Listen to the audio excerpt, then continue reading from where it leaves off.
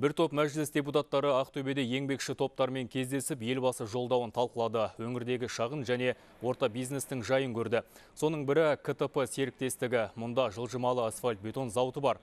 Жол салудың тиімді әрі сапалы тәсілін қолданады. Құрылыс, жөндеу және жол салатын мекемеде 400 адам еңбек етеді.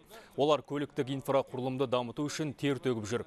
Ақтөбе болашақта Қазақстанның заманауи орталығына айналмақ. Ұжымның әр жұмысшысы оған өз үлесін қосуға әзір. Отыз елдің қатарына кіру үшін қандай межеде қызығушылық сұрақтар болды. Сол сұрақтардың бірі мысалы осы ақтөбе қаласының агломерациясы жөнінде көп сұрақтар болды. Жұмысшылардың соны қызу талқылап қазір мынау кәсіпорында аралап жүрміз.